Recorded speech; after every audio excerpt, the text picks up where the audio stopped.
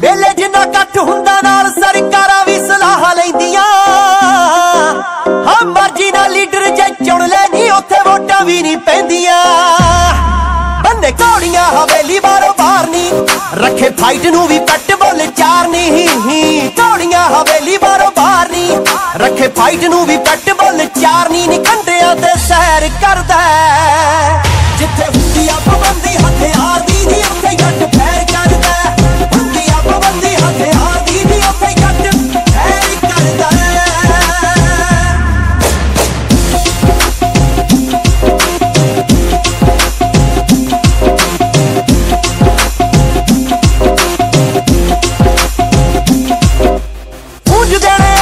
group ਵੀ ਜਿਹੜੇ ਵੀ ਆਉਂਦੇ